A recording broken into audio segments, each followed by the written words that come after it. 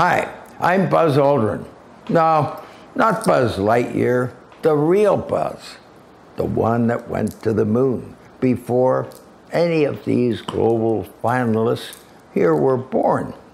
And that is actually what I want to talk to you about. Why hasn't anyone been back to the moon? Quite frankly, forget the moon. Why haven't we been to Mars? Eh, there's money, politics, rockets, and all sorts of excuses, but in the end, it's because we need innovators, innovators like you, who can plan, create, and execute an effective way to get us there.